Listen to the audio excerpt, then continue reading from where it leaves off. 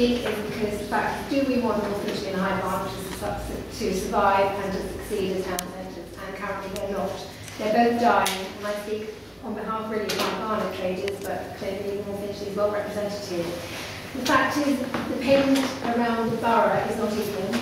High Barnet is surrounded by London Colney to one side and Whetstone to the other. Both have free parking. We are charged in every single car park.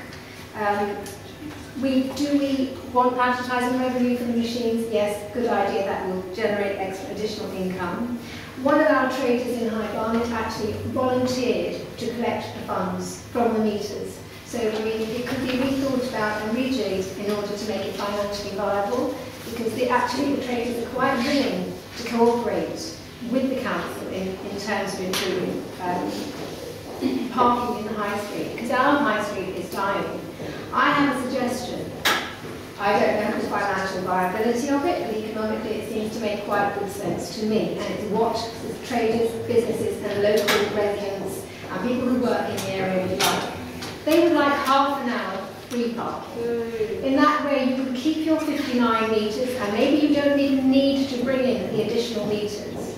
After that you charge one pound to make it up to an hour and after that, we've increased the revenue along the high street and maybe additional, even more in the surrounding car parks to offset and possibly even add in additional revenue for you. That way I see it as a win-win situation. Councillor Cohen men mentioned the increased revenue. I think that's something to do with Mill Hill, because Mill Hill has, I think, a different payment section.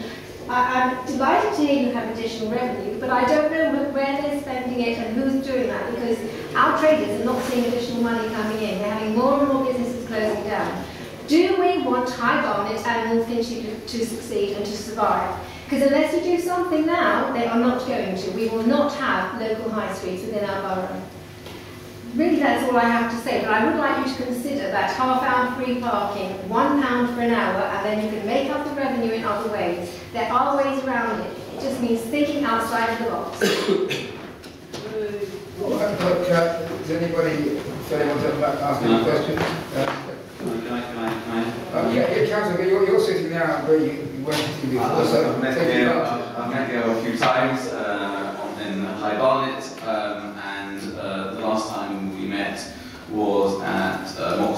Car Park, and um, uh, the yes, yes, we, we spoke about Mo- Moxon Street Car Park regarding um, having a free period in Moxon Street Car Park, and the um, the what was asked was just give us some free time, which is what was given.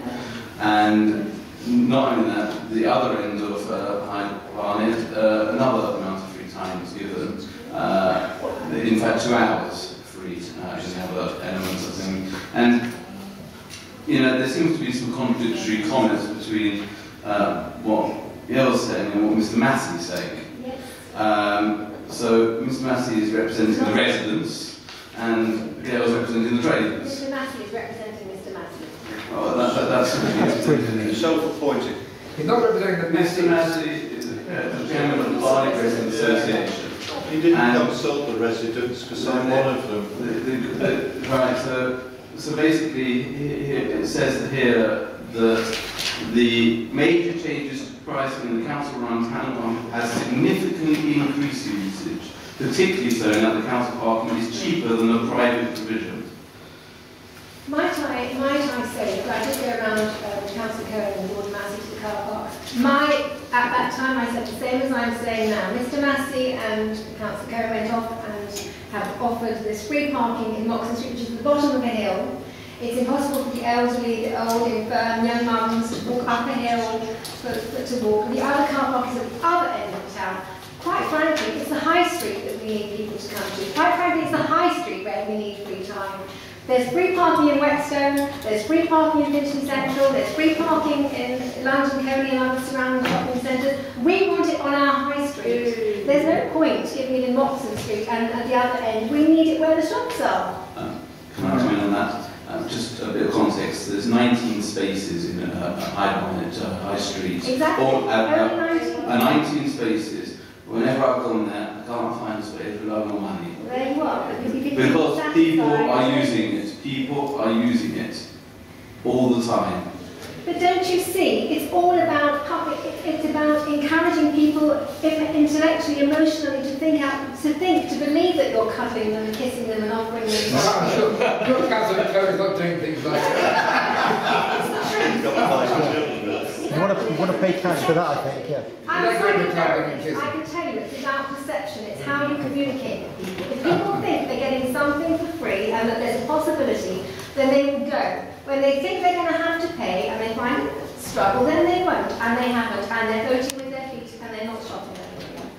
All right. Look, uh, it's very interesting to hear this, uh, and it's very good. Um, it- it's kind of now repeating itself. You, you, the, the, the view that has been expressed this evening by those members of the public who came along traders in, in main uh, is very strongly uh, in, in one way in favour of this. You've actually brought in some other ideas, and it could be again. I'm just just thinking aloud, and only for another half a minute or so, that other it may be that some of the problems have been identified in, in, in Finchley and uh, possibly in, in, in Barnet, in particular areas, could be addressed in other ways. I'm not suggesting cash machines can't be reviewed, that's something we're going to look at, that's our main purpose. But there could be other things that will come from this task and finish group, other ideas that may be possibly implementable, which could be suggested, you know, uh, out of the box, which may, may help.